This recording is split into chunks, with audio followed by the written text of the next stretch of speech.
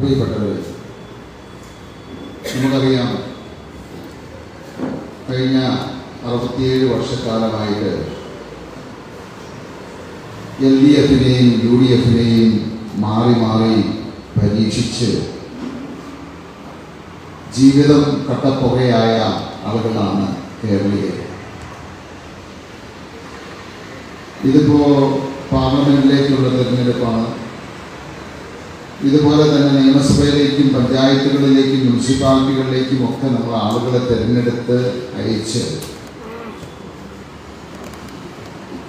അവർ ഒരുപാട് കാര്യങ്ങൾ നേടി അല്ലെങ്കിൽ ജയിച്ചവര് ഒരുപാട് കാര്യങ്ങൾ നേടിയതിൽ കവിഞ്ഞ് ഈ നാട്ടിലുള്ള പാവപ്പെട്ട സാധാരണക്കാരായിട്ടുള്ള ജനങ്ങൾക്ക് ഒന്നും നേടാൻ സാധിച്ചില്ല എന്നുള്ളതാണ് ഇപ്പൊ ഇവിടെ ഇരിക്കുന്ന ആളുകളിൽ എൺപത് ശതമാനവും തന്നെ ഒരു ദിവസം പണിക്ക് പോയില്ലെങ്കിൽ അവരെയൊക്കെ കുടുംബം പട്ടിണിയാവുന്ന അവസ്ഥയിലായിരുന്നു നമ്മൾ ജീവിക്കുന്നത്.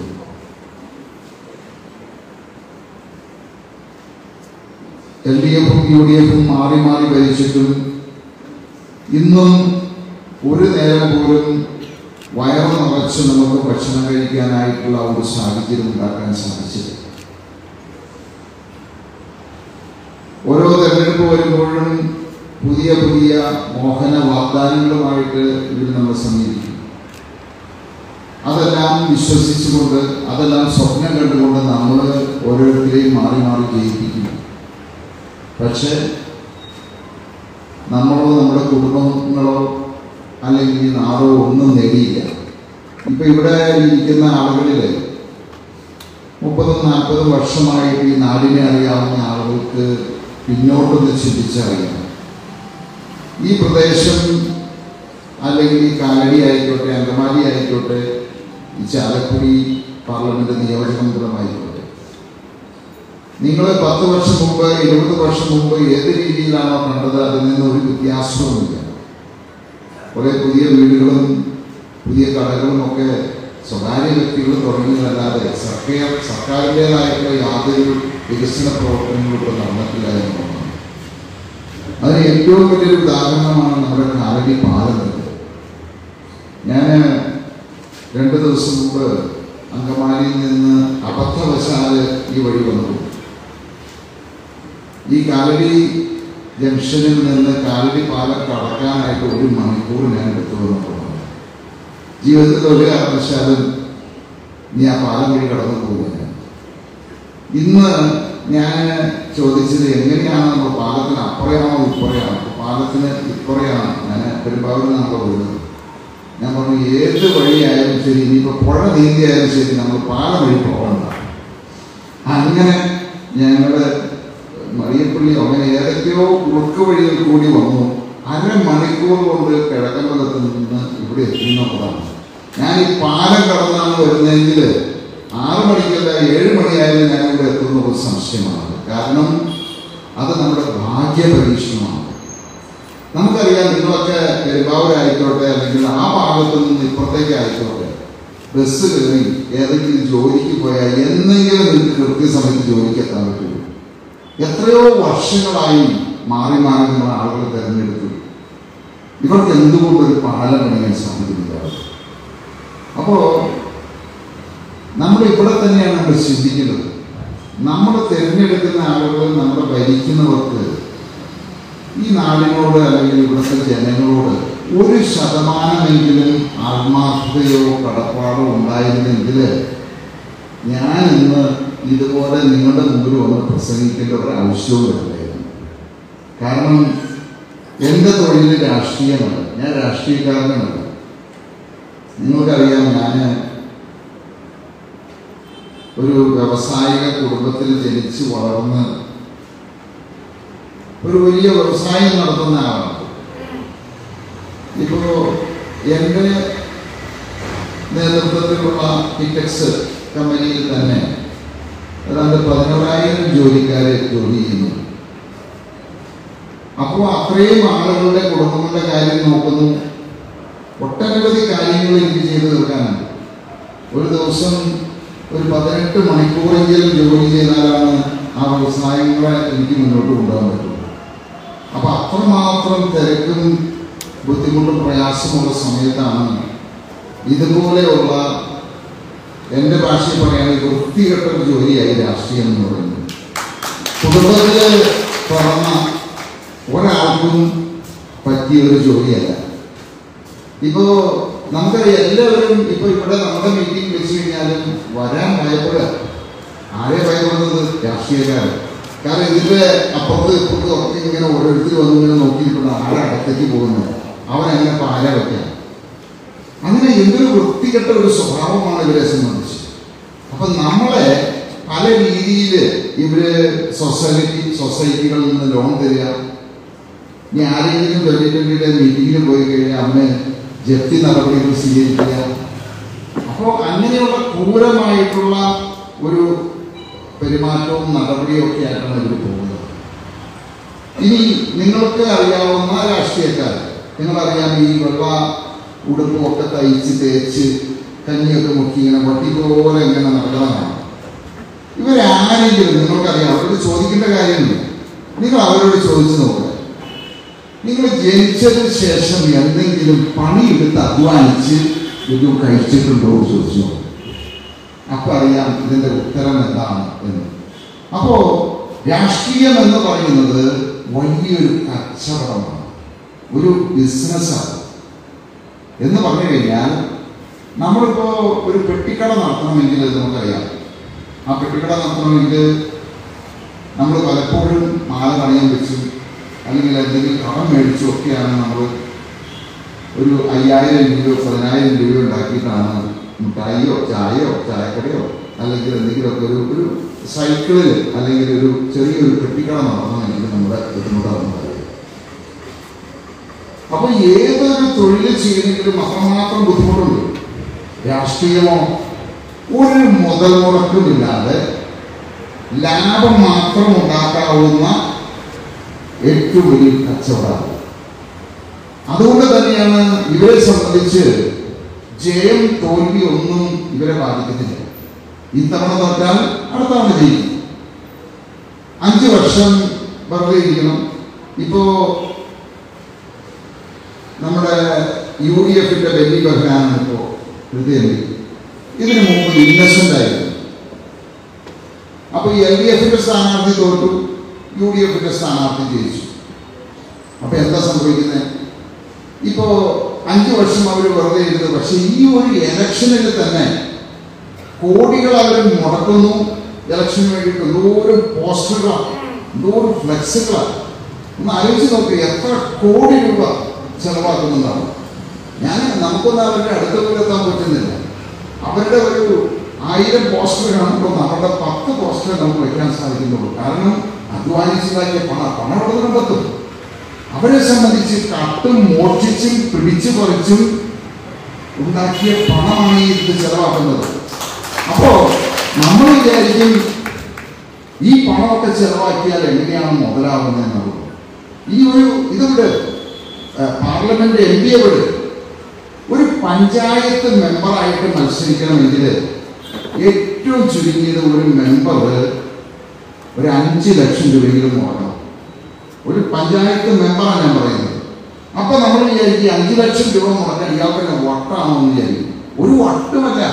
അഞ്ച് ലക്ഷം രൂപ മുടക്കിയാൽ ഒറ്റ വർഷം കൊണ്ട് അമ്പത് ലക്ഷം രൂപ അവർ ഉണ്ടാക്കുന്ന പോക്കറ്റിൽ അപ്പൊ നാൽപ്പത്തഞ്ച് ലക്ഷം രൂപ ആദ്യത്തെ വർഷം തന്നെ കിട്ടി.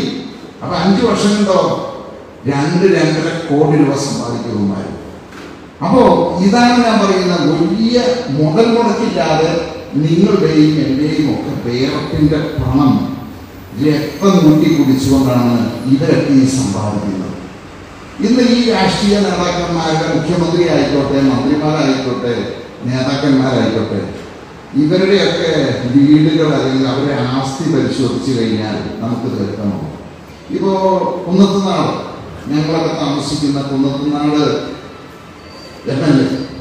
അദ്ദേഹം ഇതിനു മുമ്പിൽ മത്സരിച്ചപ്പോ ഏതാണ്ട് നാല് ലക്ഷം രൂപയാണ് അയാളുടെ ആസ്തി ഉണ്ടായിരുന്നത്. ഇപ്പോ ഈ തവണത്തെ ഇലക്ഷനിൽ ഡിക്ലെയർ ചെയ്തിരുന്ന പതിനാറ് കോടി രൂപയാണ്. അപ്പൊ ആലോചിച്ച് നോക്ക്. നാല് ലക്ഷം രൂപ ആസ്തി ഉണ്ടായിരുന്ന ഞങ്ങൾ വേറെ ഒരു പണിക്കും പോകാതെ പതിനാറ് കോടിയായി. നിങ്ങളോ ഞാനോ വിചാരിച്ചത് സാധിക്കുമോ നാല് ലക്ഷം രൂപയിൽ പതിനാറ് കോടിയാണ്. ആരുടെ പണം അതൊക്കെ? നിങ്ങളുടെയും എന്റെയും ഒക്കെ ഈ നാടിനെ കൊള്ളയടിച്ച് കട്ടുമുടിച്ചുണ്ടാക്കുന്ന പണമാണത് അപ്പോ ഇത് ഡിക്ലെയർ ചെയ്തിരിക്കുന്നതാണ്. പതിനാറ് കോടി രൂപ ഡിക്ലെയർ ചെയ്തിട്ടുണ്ടെങ്കിൽ അതിന്റെ എത്രയോ ഇരട്ടിയായിരിക്കും അവരുടെയൊക്കെ ആസ്തി എന്ന് പറയുന്നത്. അപ്പൊ അതുകൊണ്ട് ഇവർ തോറ്റാലും ജയിച്ചാലും ഇവർക്ക് ലാഭം. ഇപ്പൊ ഉദാഹരണത്തിന് ഒരു എം പി നിന്നും മത്സരിച്ചു. ഒരു അഞ്ചു കോടി ചെലവാക്കി എന്ന് വിചാരിക്കാം. ഈ അഞ്ചു കോടി അയാളുടെ പോക്കറ്റിൽ നിന്നല്ല ചെലവാക്കണേ ഓരോരുത്തരെയും പേടിപ്പിച്ചും ഭീഷണിപ്പെടുത്തും പിടിച്ചു പറിച്ചും ഇതിനു മുമ്പ് കട്ടുമൊക്കെ ഉണ്ടാക്കിയിരിക്കുന്ന പണം അയച്ചതാണ് ഈ അഞ്ച് അഞ്ച് കോടിക്ക് വേണ്ടിയിട്ട് അവരൊരു പത്ത് കോടിയിൽ പിരിച്ചിട്ടുണ്ടാവും. അപ്പോൾ എന്താണ് തോറ്റാലും അഞ്ച് കോടി രൂപ പോക്കറ്റിലാണ് അപ്പൊ ഒരു നഷ്ടവും ഇല്ലാത്ത ഒരു കച്ചവടമാണെന്നാണ് പറയുന്നത്. അപ്പോ പ്രിയപ്പെട്ടവര് എന്റെ അച്ഛൻ ജീവിച്ചിരിക്കുമ്പോൾ ഞങ്ങളോട് പറഞ്ഞ രണ്ട് കാര്യങ്ങളുണ്ട്. രണ്ടല്ല ഒട്ടനവധി കാര്യങ്ങളുണ്ട്. ഞാൻ കൊണ്ട് ചുരുക്കി പറയുന്നു അപ്പോ അതിൽ ഒന്നാമത്തെ കാര്യം എന്ന് പറഞ്ഞത് നമ്മുടെ ഈ വ്യവസായ സ്ഥാപനങ്ങൾ വളർന്നു വരുമ്പോൾ നിങ്ങൾ എത്ര പേര് കിഴക്കമ്പലത്ത് വന്നിട്ടുണ്ടെന്ന് എനിക്കറിയില്ല. ഞങ്ങളുടെ വ്യവസായ സ്ഥാപനങ്ങൾ മൂന്നും നാലും നിലയുമായിട്ട് ഒരു പ്രദേശത്ത് നിന്നിങ്ങനെ വളർന്നു കൊണ്ടിരിച്ചു കിടക്കുന്നത് പതിനാറായിരം ആളുകൾ ജോലി ചെയ്യുന്നതാണ്. അപ്പോൾ നമ്മുടെ വ്യവസായ സ്ഥാപനങ്ങൾ ഇത്രയും വളർന്ന് പന്തലിച്ച് വരുമ്പോൾ ആ വ്യവസായങ്ങൾ വളരുന്നതിനോടൊപ്പം തന്നെ ഈ നാടും വളരണം. അങ്ങനെയായാൽ മാത്രമാണ് അത് ഒരു ശരിയായിട്ടുള്ള വളർച്ച എന്ന്. രണ്ടാമത്തെ കാര്യം പറഞ്ഞിരിക്കുന്നത് നമ്മൾ മൂന്ന് നേരം വയറ് നിറച്ച് ഭക്ഷണം കഴിക്കുമ്പോൾ നിങ്ങൾ ഉറപ്പാക്കണം നമ്മുടെ ചുറ്റുപാടുള്ള ആളുകളും മൂന്ന് നേരം ഭക്ഷണം കഴിക്കുന്നുണ്ട് എന്ന് ഉറപ്പാക്കണമെന്ന് പറഞ്ഞിട്ടുണ്ട്. ആ രണ്ട് കാര്യങ്ങളും ആ സ്വപ്നം പൂർത്തിയാക്കാനായിട്ടാണ് രണ്ടായിരത്തി പന്ത്രണ്ടിൽ ഞങ്ങൾ ട്വന്റി ട്വന്റി എന്ന് പറയുന്ന ഒരു പ്രസ്ഥാനം തുടങ്ങി. അതൊരു രാഷ്ട്രീയ പ്രസ്ഥാനമോ അല്ലെങ്കിൽ രാഷ്ട്രീയത്തിൽ ഇറങ്ങാൻ വേണ്ടിയിട്ടുണ്ടാക്കിയതല്ല. പക്ഷേ ഞങ്ങൾ അതുമായിട്ട് ഇങ്ങനെ നടക്കുമ്പോൾ ഒരു കോളനി ലക്ഷം വീട് കോളനി നിങ്ങളവിടെയൊക്കെ ഉണ്ടാവും ലക്ഷം വീട് കോളനി ഈ ലക്ഷം വീട് കോളനിയിൽ മുപ്പത് വീടുകൾ നാൽപ്പത് വീടുകളൊക്കെ ഉണ്ട്. ഒരു കോളനിയിൽ ചെല്ലുമ്പോൾ അവിടെ നാൽപ്പത് വീടിന് വേണ്ടിയിട്ട് ഒരു ടാപ്പ് ഒരു പൈപ്പ് കണക്ഷൻ. ആ പൈപ്പിൽ കൂടി ഒരു മണിക്കൂറാണ് ഒരു ദിവസം വെള്ളം വരുള്ളൂ. അപ്പൊ നാൽപ്പത് കുടുംബങ്ങൾ ഒരു ടാപ്പിൽ നിന്ന് ഒരു മണിക്കൂർ വരുന്ന വെള്ളത്തെ ആശ്രയിച്ച് മാത്രം ജീവിക്കുകയാണ്. വേറൊരു കയറി ചെല്ലുമ്പോൾ അവിടെ ഒരു എൺപത് വയസ്സായിട്ടുള്ള ഒരു അമ്മച്ചി. ആ അമ്മച്ചി ഇറങ്ങി വരുന്ന വഴിയൊക്കെ കുത്തിപ്പിടിച്ചു അപ്പോ ഇവിടെ ആരും ചോദിച്ചു അകത്തേക്ക് നോക്കുകയാണ്. അപ്പൊ അതിന്റെ മൂലയ്ക്ക് ഒരു മുറിയിൽ ബുദ്ധിമാന്യം സംഭവിച്ച ബുദ്ധിശ്രദ്ധയില്ലാത്ത ആ അമ്മച്ചിയുടെ നാൽപ്പത് വയസ്സായ ഒരു മകൻ എന്തൊക്കെയോ പുലമ്പിക്കൊണ്ടിരിക്കുന്നു നമുക്ക് അതിനകത്തേക്ക് കയറാൻ പറ്റാത്ത രീതിയിലുള്ള ഒരു ഒരു സാഹചര്യമാണ്? അപ്പോ അമ്മയിൽ എന്താണ് കഴിച്ചതെന്ന് ചോദിച്ചപ്പോൾ അവരകത്ത് പോയി എടുത്തുകൊണ്ട് വന്നത് ഒരു കലം. ആ കലത്തിൽ കുറെ വെള്ളം. എണ്ണാവുന്ന അത്രയും ചോറും വെട്ടുകളും പറഞ്ഞു. അപ്പൊ ആ അമ്മ പറയുകയാണ് ഒരാഴ്ച മുമ്പ് ആരോ ഒരാൾ ഒരു കിലോ അരി കൊടുക്കും ആ ഒരു കിലോ അരി ഒരാഴ്ചയായിട്ട് ഈ അമ്മയും മകനും തിളപ്പിച്ചത് തന്നെ വീണ്ടും തിളപ്പിച്ച് ഉപ്പ് പോലും അതിലിടാനായിട്ട് അവിടെ ഇല്ല. ആ ഒരാഴ്ചയായിട്ട് കഴിച്ചതിന്റെ ബാക്കിയാണ് ആ കലത്തിൽ കിടക്കുന്നത്. അപ്പൊ നമ്മൾ ഈ രാഷ്ട്രീയക്കാർ പറയുന്നത് കേരളം എല്ലാം കൊണ്ടും സമ്പുഷ്ടമായിട്ടുള്ളൊരു സംസ്ഥാനമാണ് നൂറ് ശതമാനവും സാക്ഷരതയുണ്ട്.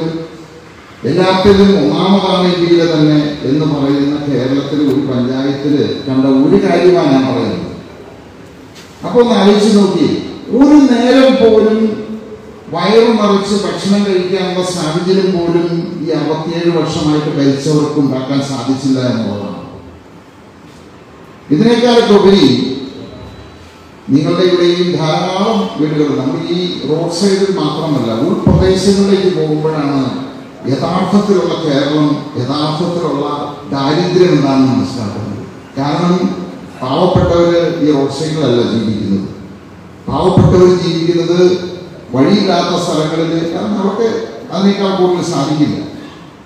അപ്പോൾ ഉൾപ്രദേശങ്ങളിലായി അവിടെ ചെന്ന് കഴിഞ്ഞപ്പോൾ ഞങ്ങൾ കണ്ടത് ഏതാണ്ട് ഇരുന്നൂറ്റി എൺപത്തിരണ്ട് കുടുംബങ്ങൾ നീല ടർപ്പായി വലിച്ചു കെട്ടിയിട്ട് നാല് കമ്പുകൾ താങ്ങിക്കൊടുത്ത് മൺതിട്ടകൾ സിമിലല്ല മണ്ണ് കൊണ്ടുണ്ടാക്കിയ തിട്ടകളിൽ മനുഷ്യനും പട്ടിയും ആടും കോഴിയും ഒക്കെ ഒന്നിച്ച് കിടക്കുക ആരാ ഇതിന് ഉത്തരവാദികൾ? നിങ്ങളും ഞാനുമാണോ അപ്പൊ ഈ അറുപത്തിയേഴ് വർഷമായിട്ട് മാറി മാറി ഭരിച്ച രാഷ്ട്രീയക്കാരാണ് ഇതിന്റെ ഉത്തരവാദികൾ എന്തുകൊണ്ട് മറ്റുള്ള കാര്യങ്ങൾ റോഡ് പാലം ഇതൊക്കെ പോകട്ടെ? അതൊക്കെ മാറ്റി നിർത്താം. ഇപ്പൊ പാലത്ത് കുറച്ചു നേരം വൈകി നമുക്ക് പ്രശ്നമൊന്നും ഉണ്ടാകാൻ പോകുന്നില്ല റോഡ് അല്പം മോശമായി പ്രശ്നം ഉണ്ടാകാൻ പോകുന്നില്ല. പക്ഷേ ഒരു നേരം അല്ലെങ്കിൽ മൂന്ന് നേരമെങ്കിലും വയറ് നിറച്ച് ഭക്ഷണം കഴിക്കാനുള്ള സാഹചര്യം എന്തുകൊണ്ട് ഇതുവരെ ഉണ്ടാക്കിയില്ല എന്നുള്ളതാണ്. അപ്പോ പന്ത്രണ്ടിൽ ട്വന്റി ട്വന്റി എന്ന് പറയുന്ന പ്രസ്ഥാനം കണ്ടപ്പോ നൂറുകണക്കിന് കുടുംബങ്ങൾ പട്ടിണിയായിരുന്നു. പല വീടുകളിലേക്ക് കയറി ചെല്ലുമ്പോൾ നിങ്ങൾ വിചാരിക്കും ഞാനിപ്പോ നിങ്ങളുടെ മുമ്പിൽ വന്നിരുന്നിട്ട് ഒരു രാഷ്ട്രീയക്കാരനായിട്ട് പ്രശ്നം അല്ല പന്ത്രണ്ടിൽ ഞാൻ ചെയ്തത് എണ്ണായിരത്തോളം വീടുകളുണ്ട് കിഴക്കുള്ള പഞ്ചായത്ത് അതിൽ ഏഴായിരത്തി അഞ്ഞൂറ് വീടുകളിലധികം ഞാനും എന്റെ സഹോദരനും ഞങ്ങൾ കുറച്ച് പേര് കൂടി നടന്ന് നടന്ന് ഓരോ വീടുകളിലും കയറി അമ്മമാരെയും അച്ഛന്മാരെയും കണ്ട് ചോദിച്ചു എന്താണ് നിങ്ങൾ നേരിടുന്ന പ്രശ്നം? എന്താണ് ഈ നാട് നേരിടുന്നത്? അത് മനസ്സിലാക്കിയതിന് ശേഷമാണ് രാഷ്ട്രീയത്തിലേക്ക് ഞാൻ ഇറങ്ങിയത്. ഈ നാടൊന്ന് നന്നാക്കണം എന്ന് വിചാരിച്ചു. അങ്ങനെ വീടുകളിലേക്ക് ചെല്ലുമ്പോൾ അമ്മമാരുടെ കണ്ണ് കണ്ണുനീരാണ് ഒഴുകുന്നത്. അവർക്ക് കഷ്ടപ്പാടും ദുരിതവും പ്രയാസങ്ങളും മാത്രമേ പറയാനുള്ളൂ. പല അമ്മമാരും അവരുടെ കുട്ടികൾ സ്കൂളിലേക്ക് പോകുന്ന സമയത്ത് ആരും കാണാതെ അകത്തിരുന്ന് ഒതുക്കി കറിയണം കാരണം അവരുടെ കുട്ടികൾക്ക് കൊടുത്തു വിടാനായിട്ട് അവിടെ ഒന്നുമില്ല അടുക്കള കാലിയാണ് തിരിച്ച് അവരുടെ കുട്ടികളെ തിരിച്ച് സ്കൂൾ വിട്ട് വരുമ്പോഴും ഇതുപോലെ തന്നെയാണത്. വിശന്ന് വലന്ന് വരുന്ന വലിഞ്ഞു വരുന്ന കുട്ടികളെ കാണുമ്പോൾ അവരുടെ ചങ്ക് പൊട്ടുകയായിരുന്നു. ആ സാഹചര്യം ഞങ്ങൾ മാറ്റി. ആദ്യമായിട്ട് ഞങ്ങൾ നടപ്പിലാക്കിയത് ഭക്ഷ്യസുരക്ഷയാണ് ഭക്ഷ്യസുരക്ഷ എന്ന് പറഞ്ഞു കഴിഞ്ഞാൽ എല്ലാ കുടുംബങ്ങൾക്കും അൻപത് ശതമാനം വരെ വില കുറച്ച് സാധനങ്ങൾ കൊടുത്ത് മൂന്ന് നേരം സുഭിക്ഷമായിട്ട് ഭക്ഷണം കഴിക്കാനായുള്ള സാഹചര്യം ഉണ്ടാക്കി. അപ്പൊ അവിടെയും ഈ അൻപത് ശതമാനം വില കുറച്ച് പോലും മേടിക്കാൻ പറ്റാത്ത ഒട്ടനവധി കുടുംബങ്ങൾ ഉണ്ടായിരുന്നു. അവർക്ക് സൗജന്യമായിട്ട് കൊടുത്തു. ഞങ്ങൾ തീരുമാനിച്ചു. ഒറ്റ കുടുംബം പോലും പട്ടിണി കിടക്കരുത്. ആ അച്ഛന്റെ സ്വപ്നം ഞങ്ങൾ പൂർത്തിയാക്കി. ഇന്ന് സ്കൂളിലേക്ക് പോകുന്ന മക്കളെ അല്ലെങ്കിൽ അമ്മമാര് എന്തൊക്കെയാണ് കൊടുത്തു വിടേണ്ടതെന്നുള്ള വേവലാതിയാണ് അവരെ സംബന്ധിച്ച്. കാരണം അവരുടെ അടുക്കളകൾ നിറവാണ്. അത്രമാത്രം സാധനമുണ്ട് അന്ന് ഒരു വീടുകളിൽ പോലും ഒരു മിക്സി ഉണ്ടായിരുന്നില്ല. ഒരു ഗ്യാസ് സ്റ്റവ് ഉണ്ടായിരുന്നില്ല. ടി വി ഉണ്ടായിരുന്നില്ല. ഫ്രിഡ്ജ് അതൊക്കെ പിന്നെ പോട്ടെ. ഫ്രിഡ്ജ് ഉണ്ടായിരുന്നില്ല വാഷിംഗ് മെഷീൻ ഉണ്ടായിരുന്നില്ല. ഇന്ന് കിടക്കുമ്പോഴത്തേക്ക് നിങ്ങൾ പോയി നോക്ക് എല്ലാ വീടുകളിലും മിക്സി ഉണ്ട്. വാഷിംഗ് മെഷീൻ ഉണ്ട് ടി വി ഉണ്ട് ഫ്രിഡ്ജ് ഉണ്ട് എല്ലാ സൗകര്യങ്ങളും കിടക്കയും കട്ടിലും ഒക്കെ ഉണ്ട്. ആ സാഹചര്യത്തിലേക്ക് കൊണ്ടുപോകും. അപ്പോ ഞങ്ങൾ ഇങ്ങനെ ചെറിയ ചെറിയ പരിപാടികൾ നടപ്പിലാക്കാൻ നോക്കിയപ്പോൾ അവിടുത്തെ രാഷ്ട്രീയക്കാരെ പറ്റി. പറ്റില്ല. നിങ്ങൾക്ക് അങ്ങനെ ചെയ്യുന്ന ആ പൈസ ഇല്ലാ ഞങ്ങൾ ചെയ്യാം. നിങ്ങൾക്ക് അറിയാലോ പൈസ അവിടെ ചെന്ന് കഴിഞ്ഞാൽ എന്താ നടക്കാൻ പോകുന്നത് അപ്പോ അത് സാധ്യമല്ല എന്ന് ഞങ്ങൾ പറഞ്ഞു. കാരണം നൂറ് രൂപ കൊടുത്തു കഴിഞ്ഞാൽ എൺപത് രൂപ ഒരു പോക്കറ്റിലാക്കി ഇരുപത് പോലും പാവപ്പെട്ടവർക്ക് കിട്ടില്ല. അങ്ങനെയാണ് അധികാരമില്ലാതെ നമ്മൾ ഉദ്ദേശിക്കുന്ന ഈ നാട് നന്നാക്കാൻ പറ്റില്ല എന്നുള്ള യാഥാർത്ഥ്യം തിരിച്ചറിഞ്ഞപ്പോഴാണ് രണ്ടായിരത്തി പതിനഞ്ചിൽ ഞങ്ങൾ പഞ്ചായത്ത് തെരഞ്ഞെടുപ്പിൽ മത്സരിക്കാൻ തീരുമാനിച്ചത്. അങ്ങനെ തീരുമാനിച്ചപ്പോ കമ്മ്യൂണിസ്റ്റും കോൺഗ്രസും B J P P D പിയും എസ് ഡി പി എല്ലാം കൂട്ടുകാരായി ഒറ്റക്കെട്ടായി ട്വന്റി ട്വന്റി ഒരു ഭാഗത്ത് ബാക്കി എല്ലാ പാർട്ടിക്കാരും ഒരു ഭാഗത്ത് മത്സരം നടന്നു എഴുപത്തിരണ്ട് ശതമാനം വോട്ട് നേടി പത്തൊൻപതിൽ പതിനേഴ് സീറ്റുകൾ നേടി അധികാരം ഞങ്ങൾ ഏറ്റെടുത്തു. അന്ന് ഏറ്റെടുക്കുമ്പോ മുപ്പത്തി ഒൻപത് ലക്ഷം രൂപ കടം മാറ്റി വെച്ചിട്ട് അവർ പോയത്. അഞ്ച് വർഷം ഭരണം പൂർത്തിയാക്കി ഇന്ത്യയിലെ തന്നെ ഏറ്റവും നല്ല പഞ്ചായത്തായിട്ട് ഏറ്റവും നല്ല റോഡുകൾ ഏറ്റവും വീടില്ലാത്തവർക്കെല്ലാം വീടുകൾ ലക്ഷം വീടുകളെല്ലാം ഗോഡ്സ് വില്ലകളാക്കി അങ്ങനെ എല്ലാം മാറ്റിയതിനു ശേഷം അഞ്ചു വർഷം പൂർത്തിയാക്കിയപ്പോൾ പതിമൂന്ന് കോടി അമ്പത്തിയേഴ് ലക്ഷം രൂപ മിച്ചം ബാങ്കിൽ ഡെപ്പോസിറ്റ് ഇപ്പോ രണ്ടാമത് മത്സരിച്ചപ്പോ പതിനേഴ് സീറ്റ് തന്നവർ പതിനെട്ട് സീറ്റ് തന്നു ബ്ലോക്ക് പഞ്ചായത്ത് തന്നു ജില്ലാ പഞ്ചായത്ത് തന്നു. സമീപ പ്രദേശങ്ങളും മത്സരിച്ച എല്ലാ പഞ്ചായത്തുകളും പ്രതിപക്ഷം പോലും ഇല്ലാതെ ജനങ്ങൾ ഞങ്ങളെ ഏൽപ്പിച്ചു. ഇന്ന് ട്വന്റി ട്വന്റി ഭരിക്കുന്ന എല്ലാ പഞ്ചായത്തുകളും ഉൾപ്പെടെ അൻപത്തി അയ്യായിരം കുടുംബങ്ങൾക്ക് ഭക്ഷ്യസുരക്ഷ ഉറപ്പാക്കി. അൻപത്തയ്യായിരം കുടുംബങ്ങൾ പട്ടിണിയില്ലാതെ വിലക്കയറ്റമില്ലാതെ സന്തോഷത്തോടെ സമാധാനത്തോടെ സുരക്ഷിതമായിട്ട് ട്വന്റി ട്വന്റിയുടെ പഞ്ചായത്തുകളിൽ ജീവിക്കുന്നു എന്നുള്ളതാണ്. അപ്പൊ നിങ്ങൾ കഴിഞ്ഞ രണ്ടാഴ്ച മുമ്പ് കേട്ട് കാണും ഞങ്ങൾ ഒരു മെഡിക്കൽ സ്റ്റോർ പറയും. ഇവിടെ ഇരിക്കുന്ന മരുന്ന് മേടിക്കാത്ത ആരെങ്കിലും ഉണ്ടെങ്കിൽ ഒറ്റ ആളുമില്ല. ഏതൊരു വീടെടുത്തോട്ടെ നമ്മളറിയാം പച്ചക്കറി മുതൽ പഞ്ചസാര മുതൽ പാൽ മുതൽ മുട്ട മുതൽ എല്ലാം തമിഴ്നാട് അല്ലെങ്കിൽ കർണാടകയിൽ നിന്ന് വരുന്നത്. ഇവിടെ ഒന്നും ഉൽപ്പാദിപ്പിക്കുന്നില്ല മാരകമായ വിഷമടിച്ച പച്ചക്കറികളും പാലടക്കം മുട്ടയടക്കം ഇതെല്ലാം നമ്മളെ കഴിപ്പിച്ച് കഴിപ്പിച്ച് നമ്മളെല്ലാം രോഗികളാക്കി മാറ്റിയിരിക്കുകയാണ്. ആയിരം രൂപയുടെയെങ്കിലും മരുന്ന് മേടിക്കാത്ത ഒറ്റ കുടുംബം പോലും ഉണ്ടാവില്ല. അപ്പോ ഓരോ ദിവസവും പച്ചക്കറി സാധനങ്ങളുടെ മുതൽ അരി മുതൽ എല്ലാ സാധനങ്ങളുടെയും വില കയറിക്കൊണ്ടിരിക്കുന്നു. അപ്പോ അങ്ങനെ പോലും ജീവിക്കാൻ പറ്റാത്ത സാഹചര്യങ്ങൾ നമുക്കറിയാം. അരിയുടെ വില കൂടി അറിയാം. പച്ചക്കറിയുടെ വില കൂടി അറിയാം. പക്ഷെ മരുന്നിന്റെ വില കൂടിയാൽ ആരും അറിയില്ല. എല്ലാ മാസവും ഇവർ കൂട്ടുകയാണ്. കാരണം ഒരാൾ കഴിക്കുന്ന മരുന്നല്ല മറ്റേ ആൾ കഴിക്കുന്നത്. അവർ പരസ്പരം സഹായിക്കുന്നില്ല. അതിന്റെ പേര് വായിക്കാൻ പോലും നമുക്കറിയില്ല. ഡോക്ടർമാരെ എഴുതുന്നു നമ്മൾ കൂടെ കൊടുക്കുന്നു. നാനൂറ് രൂപ എണ്ണൂറ് രൂപ ആയിരം രൂപ. എല്ലാം പണയം വെച്ചും വിറ്റും കടം മേടിച്ചും ഒക്കെ നമ്മൾ മരുന്ന് മേടിക്കും.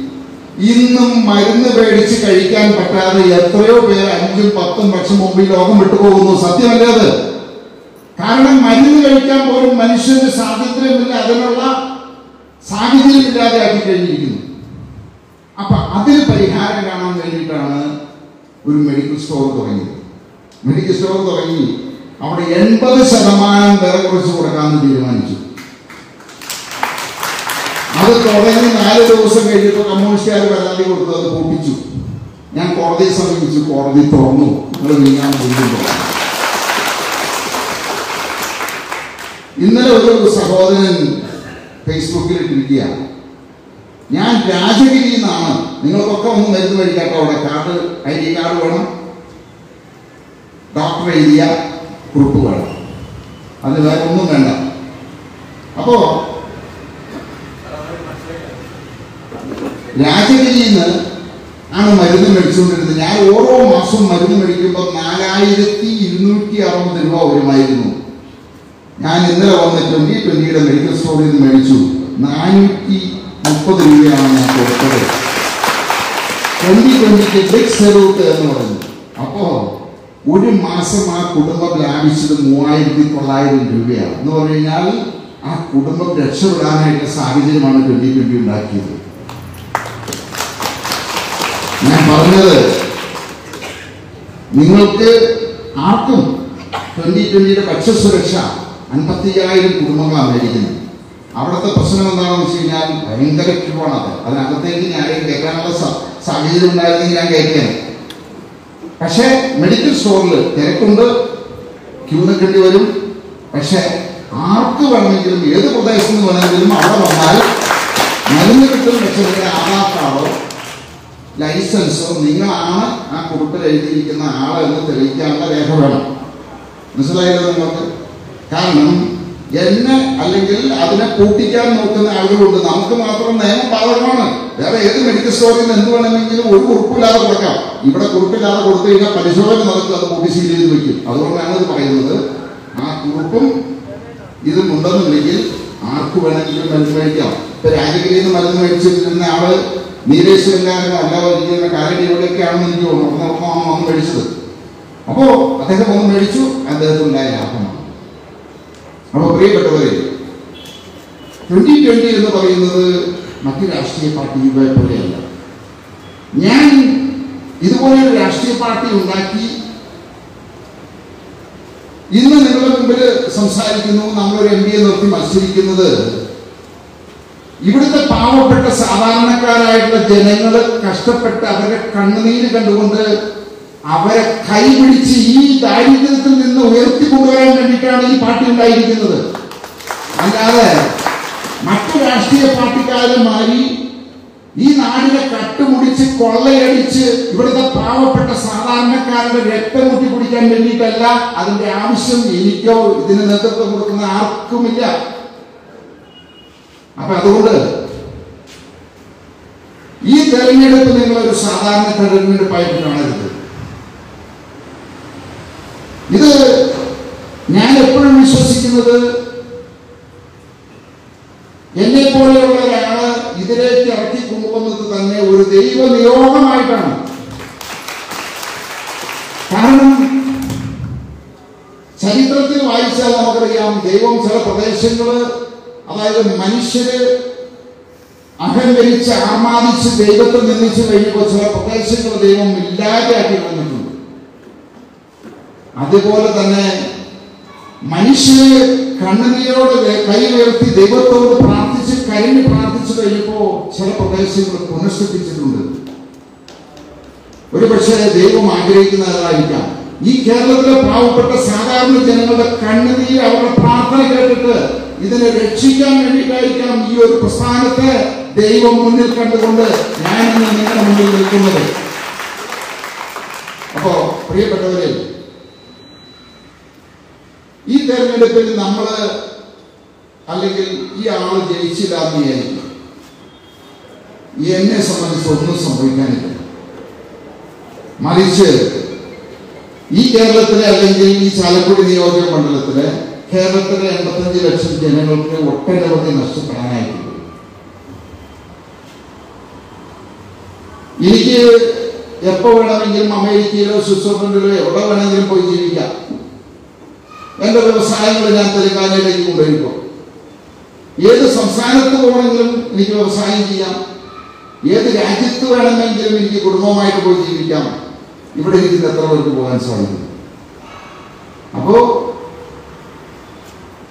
നമ്മൾ ഓരോരുത്തരും ചിന്തിക്കണം ഈ ഒരു തെരഞ്ഞെടുപ്പിൽ നമുക്ക് കിട്ടിയിരിക്കുന്ന ഒരു ലാസ്റ്റ് ബസ്സാണ് നമുക്ക് ദൈവം തന്നിരിക്കുന്ന ഒരു അവസരമാണ് രക്ഷപ്പെടാനായിട്ട് കിട്ടിയിരിക്കുന്ന ഒരു അവസരം. അത് ഓരോരുത്തരും മനസ്സിലാക്കി ചിന്തിച്ച് പ്രവർത്തിച്ചു കഴിഞ്ഞാൽ രണ്ട് എണ്ണിമാര് ജയിക്കുക എന്നുള്ളതല്ല ഈ കേരളത്തിലെ മൂന്നര കോടി ജനങ്ങളാണ് ജയിക്കുന്നത്. അങ്ങനെ ജയിച്ച അങ്ങനെ ഒരു സാഹചര്യം ഉണ്ടായാൽ ഉറപ്പായിട്ട് നിങ്ങൾ എഴുതി വെച്ചോളൂ. രണ്ടായിരത്തി ഇരുപത്തിയഞ്ച് അതായത് അടുത്ത വർഷം നവംബറിൽ വരുന്ന പഞ്ചായത്ത് മുനിസിപ്പൽ കോർപ്പറേഷൻ തെരഞ്ഞെടുപ്പിലെ കാലടി അടക്കം ഈ കേരളത്തിലെ എല്ലാ പഞ്ചായത്തുകളിലും മുനിസിപ്പാലിറ്റികളിലും കോർപ്പറേഷനുകളും ട്വന്റി ട്വന്റി മത്സരിക്കുമെന്ന് മാത്രമല്ല ഈ പഞ്ചായത്തുകളും മുനിസിപ്പാലിറ്റികളും കോർപ്പറേഷനുകളും നമ്മുടെ അധികാരത്തിന്റെ കീഴിലേക്ക് വരും. അങ്ങനെ വന്നു കഴിഞ്ഞാൽ ഇരുപത്തിയാറ് ഏപ്രിൽ വരുന്ന നിയമസഭാ തെരഞ്ഞെടുപ്പിൽ നൂറ്റി നാൽപ്പത് സീറ്റുകളിലെ ഭൂരിപക്ഷത്തോടുകൂടി ട്വന്റി ട്വന്റിയുടെ നേതൃത്വത്തിലുള്ള ഭരണം കേരളത്തെ നിയന്ത്രിക്കും ഭരിക്കും. അങ്ങനെ ഭരിച്ചു കഴിഞ്ഞാൽ നിങ്ങൾക്കറിയാമല്ലോ ഇന്ന് കിഴക്കമ്പലത്തെ അല്ലെങ്കിൽ ട്വന്റി ട്വന്റി ഭരിക്കുന്ന പഞ്ചായത്തുകളിലെ ജനങ്ങൾക്ക് കിട്ടുന്ന എല്ലാ സൗഭാഗ്യങ്ങളും കേരളത്തിന്റെ കാസർഗോഡ് പോലെ കന്യാകുമാരി വരെ ഓരോ പഞ്ചായത്തുകളിലും ഭക്ഷ്യസുരക്ഷാ മാർക്കറ്റുകൾ ഉണ്ടാക്കുക ഓരോ പഞ്ചായത്തുകളിലും മെഡിക്കൽ സ്റ്റോറുകൾ ഉണ്ടാക്കുക ഇവിടുത്തെ അഴിമതിയും അക്രമവും തെമ്മാടിത്തരവും ഗുണ്ടായുസവും മയക്കുമരുന്നും കൊള്ളയും കഞ്ചാവും ഒക്കെ അടിച്ചമർത്തും. അപ്പോ അതിനു വേണ്ടിയിട്ടാണ് നമ്മൾ ശ്രമിക്കുന്നത്. അല്ലാതെ ഇതൊരു വെറും പാർലമെന്റ് തെരഞ്ഞെടുപ്പായിട്ട് ഇതിനെ കാണരുത്. അപ്പൊ പ്രിയപ്പെട്ടവരെ പലരും ഞങ്ങളുടെ മുന്നിൽ ഇതുപോലെ ഒന്ന് പ്രസംഗിക്കും. ഞാൻ പ്രസംഗിക്കുന്നത് എന്റെ ഹൃദയത്തിൽ നിന്നാണ്. അവരെല്ലാം പ്രസംഗിക്കുന്നത് സിനിമാക്കാരെ പോലെ അഭിനയിക്കുകയാണ് നിങ്ങളുടെ മുമ്പിൽ.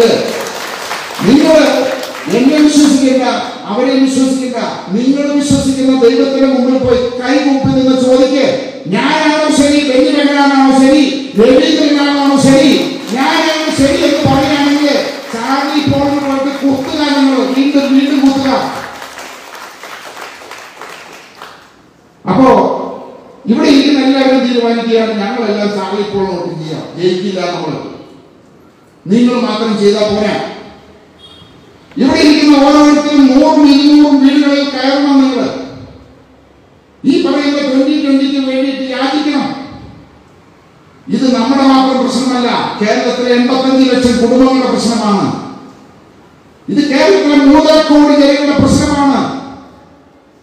ഒരോട്ട് അറുപത്തിയേഴ് വർഷം എൽ ഡി എഫിനെയും യു ഡി നിങ്ങൾ പരീക്ഷിച്ചില്ലേ?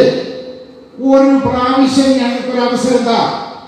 ഈ ട്വന്റി ട്വന്റി പാവങ്ങളുടെ പാർട്ടിക്കൊരു അവസരം എന്താ? അങ്ങനെ വന്ന് ഈ അറുപത്തിയേഴ് വർഷം കൊണ്ട് എൽ ഡി എഫും യു ഡി എഫും അല്ലെങ്കിൽ കേരളത്തിലെ ഇരുപത് എം പിമാരും എന്ത് ചെയ്തോ? അറുപത്തിയേഴ് വർഷം കൊണ്ട് എന്ത് ചെയ്തോ? അതിനേക്കാൾ പത്തിരട്ടി അഞ്ച് വർഷം കൊണ്ട് ട്വന്റി ട്വന്റി എം പി നടപ്പിലാക്കിയിരിക്കുന്നു. ഇനി അങ്ങനെ ചെയ്തില്ല എങ്കിൽ ചാട്ടവാർ കൊണ്ട് അടിച്ച് ചവിട്ടി പുറത്താക്കിക്കോളം ധൈര്യമായിട്ട് നിങ്ങൾ പറഞ്ഞോ? നടപ്പിലാക്കിയിരിക്കും. അപ്പൊ പ്രിയപ്പെട്ടവര് നിങ്ങൾ എല്ലാവരും പ്രാർത്ഥിക്കണം എന്നുള്ളത് ഈ പ്രസ്ഥാനത്തിന് വേണ്ടിയിട്ട് ഇതിൽ മത്സരിക്കുന്ന ചാർലി പോളിന് വേണ്ടിയിട്ട് ആന്റണി ജോഡിക്ക് വേണ്ടിയിട്ട്. ഇവിടെ മാത്രമല്ല എറണാകുളത്ത് നിങ്ങളുടെ ബന്ധുക്കാര് സുഹൃത്തുക്കൾ എവിടെയൊക്കെ ഉണ്ടോ അവരെയൊക്കെ വിളിച്ച് സംസാരിക്കണം. ഞാൻ ഈ പറഞ്ഞ കാര്യങ്ങൾ പച്ചയായിട്ടുള്ള യാഥാർത്ഥ്യങ്ങൾ അവരോട് പറയണം അവരെ കൺവിൻസ് ചെയ്യിക്കണം വോട്ടുകൾ നേടണം. നിങ്ങൾ എല്ലാവരും പ്രവർത്തിക്കാൻ ഇറങ്ങണം. ഓരോ വാർഡുകളായിട്ട് തിരിച്ച് ഓരോ വാർഡുകളിൽ നിന്നും വന്നിരിക്കുന്ന ആളുകൾ മൂന്നും നാലും പേരായിട്ട് തിരിഞ്ഞ് ഒരു ദിവസം ഒരു നൂറും നൂറ്റമ്പത് വീടുകൾ കയറണം നിങ്ങൾ നമ്മുടെ നോട്ടീസുകളും നമ്മൾ ഇറക്കിയിരിക്കുന്ന പ്രകടന പത്രികയും പ്രകടന പത്രികയിൽ വ്യക്തമായിട്ട് പറഞ്ഞിട്ടുണ്ട്. അതിൽ വ്യക്തമായിട്ട് പറഞ്ഞിട്ടുണ്ട്. ട്വന്റി ട്വന്റി അധികാരത്തിലേക്ക് വന്നു കഴിഞ്ഞാൽ ഈ കേരളത്തിലെ എല്ലാ പഞ്ചായത്തുകളിലും ഭക്ഷ്യസുരക്ഷ മാർക്കറ്റുകൾ സ്ഥാപിക്കും. മെഡിക്കൽ സ്റ്റോറുകൾ സ്ഥാപിക്കും. അറുപത് വയസ്സിന് മേലെയുള്ള എല്ലാ ആളുകൾക്കും അയ്യായിരം രൂപ പെൻഷൻ നൽകും. ഭിന്നശേഷിക്കാരായിട്ടുള്ളവർക്ക് അയ്യായിരം രൂപ പെൻഷൻ നൽകും. മുല്ലപ്പെരിയാർ പ്രശ്നത്തിന് പുതിയ ഡാം അവിടെ നിർമ്മിക്കും. വന്യമൃഗങ്ങളുടെ ആക്രമണത്തെ പൂർണമായിട്ടും തടയും. തീരദേശങ്ങളിൽ ജീവിക്കുന്ന ആളുകൾക്ക് കട കൈയേറ്റത്തിൽ നിന്ന് പൂർണമായിട്ടും തടയും. നിങ്ങൾ അതെല്ലാം വായിച്ചു നോക്കണം. അതുപോലെ എല്ലാ പ്രശ്നങ്ങളും അടിസ്ഥാന പ്രശ്നങ്ങൾ പാവപ്പെട്ടവർക്കും സാധാരണക്കാർക്കും വേണ്ടി മാത്രമുള്ള ഒരു പാർട്ടിയാണ്. അതുകൊണ്ട് തന്നെയാണ് നമ്മുടെ ചിഹ്നം ഓട്ടോറിക്ഷ സാധാരണക്കാരുടെ വാഹനം പാവപ്പെട്ടവന്റെ വാഹനം. അതുകൊണ്ട് തന്നെയാണ് നമ്മൾ ഓട്ടോറിക്ഷ ചിഹ്നമായിട്ട് തിരിക്കുന്നത് അപ്പോ പ്രിയപ്പെട്ടവരെ എല്ലാവരും നിങ്ങൾ പറയണം ഈ സാധാരണക്കാരുടെ ചിഹ്നമായ ഓട്ടോറിക്ഷയ്ക്ക് സാധാരണക്കാരുടെ വാഹനമായ ഓട്ടോറിക്ഷയ്ക്ക് സാധാരണക്കാരുടെ മാത്രം പാർട്ടിയായ ട്വന്റി ട്വന്റിക്ക് ഇത്തവണത്തെ വോട്ട് ഓട്ടോറിക്ഷയ്ക്ക് കുത്തി ഇവിടുത്തെ എം പി ഡൽഹിയിലേക്ക് പോകണമെന്ന് നിങ്ങൾ പറയണം. അതിനുവേണ്ടി പ്രവർത്തിക്കണം ഓരോരുത്തരും. അപ്പോ എല്ലാവരോടും ഇനി ഞാൻ വീണ്ടും വരുമ്പോ പതിനായിരക്കണക്കിന് ആളുകളുടെ ഉണ്ടാവണം. അത് കുന്നത്ത് ആ, ചാലക്കുടി പാർലമെന്റ് നിയോജക മണ്ഡലത്തിലെ എം പിയോടൊപ്പമായിരിക്കണം ഞാനിവിടെ വരുന്നത്.